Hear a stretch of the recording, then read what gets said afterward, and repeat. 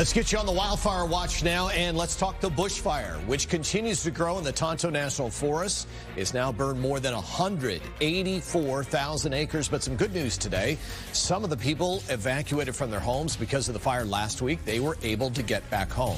Evacuation orders were lifted in Tonto Basin, Pumpkin Center, Pioneer Pass, Deer Creek, Brownsville, Jake's Corner, and Slate Creek. But those families, they've also been told to remain on standby just in case they need to get out again. Fire managers hoping to have the Beeline Highway, that's State Route 87, back open soon. They say this fire is still very active near that highway.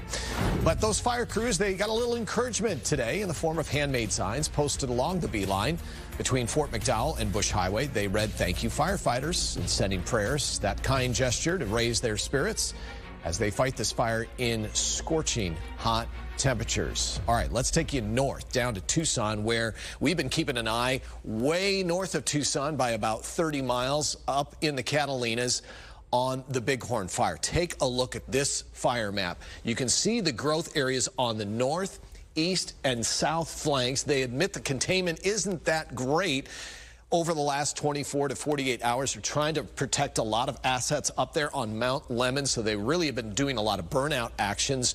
Right now, 51,000 acres. It's only 16% contained.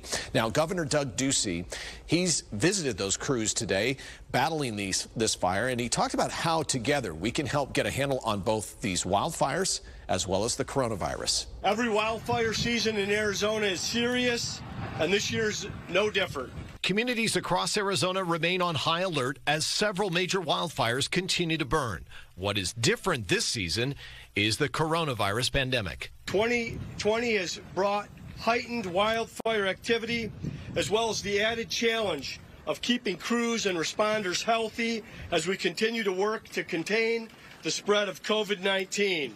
Governor Doug Ducey visited crews on the Bighorn fire, now nearly 60,000 acres and only about 16% contained.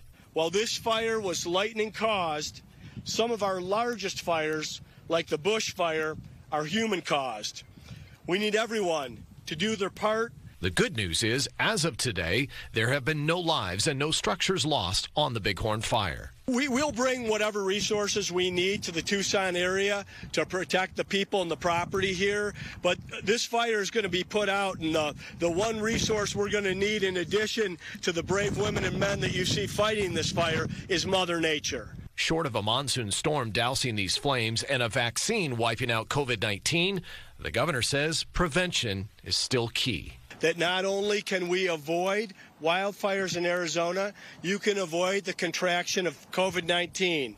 So please remember to continue to physically distance, wash your hands, wear your masks when you can't physically distance, and if you're sick, please stay home.